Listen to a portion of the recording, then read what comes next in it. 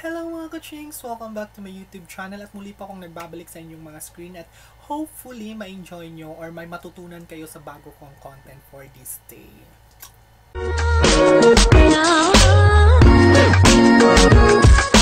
So before anything else, I just wanna clear those issues. Charot those issues talaga, feeling erang bakla.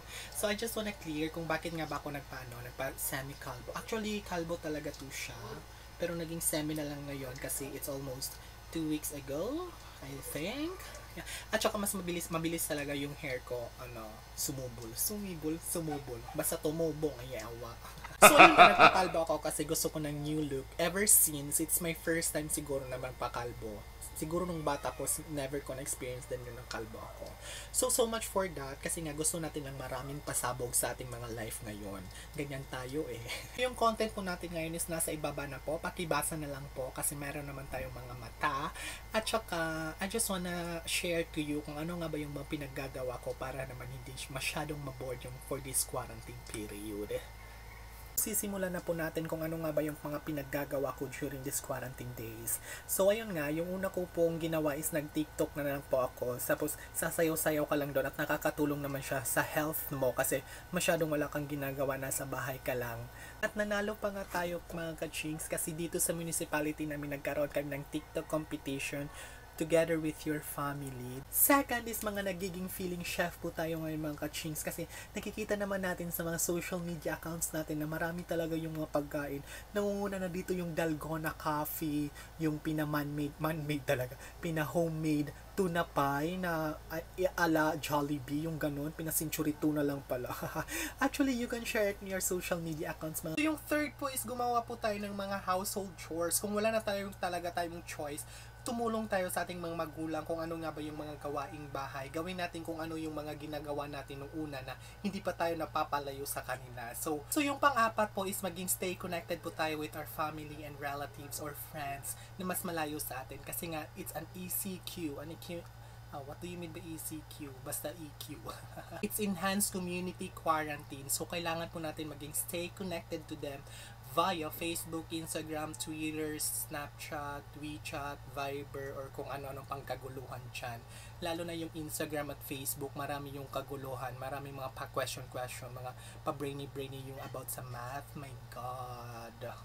so yung panglima po is Netflix. Pag wala naman po kayong Netflix account, you can use your own television via, via, yung One, may PBO, may HBO, or ano-ano pa man dyan, mga star movies. Maganda din naman doon, kaso hindi nga lang siya mas updated.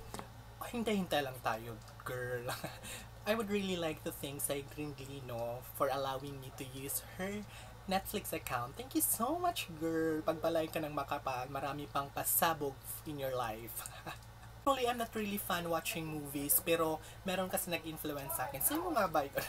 Bitaw. Basta, mauna siya yung Netflix. Yung inabangan ko po is yung Money Heist at saka Prison Break. Yan, yung dalawa lang po yung pinapanood kong series kasi maganda siya, maraming plot twist, nakaka-brainy, lalo na yung Money Heist. Pero gwapo-gwapo si Scoffy, diba? Just comment below if you agree with me, mga kachings. Just comment below mga kachings kung meron pa kayong mga suggestions movies. Basta wag lang yung K-drama. I'm so sorry. Hindi naman sa hate ko yung K-drama. Nag-try kasi akong manood ng Crash Landing on You. Actually, ang bilis-bilis ng subtitle mawala. Kagaya niya, nawawala agad. may lima yung mga kaguluhan ginagawa ko these days mga kachings. Just comment below is my, if may mga if may masuggest pa kayong kaguluhan kasi nakakapagod yung routine.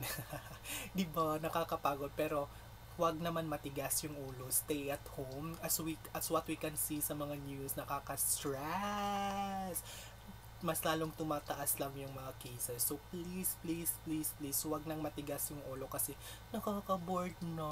Walang income. My God, excited na kong yumaman. Charat! Hopefully soon in Jesus name. So, ayun ang mga kachings, dito na nga nagtatapos yung aking vlog kasi as what you can see, Viva Video lang po yung gamit for now kasi we don't have any ano edit editor for these days. Charot. Kasi nga yung ano, yung edit at edit, edit yung editor ko po nung una is ano, kumakain siya ng ano, ng space sa phone ko. So, I have no choice. Yan, install. Tapos, gamit na lang tayo ng mas local. Charot. Bye!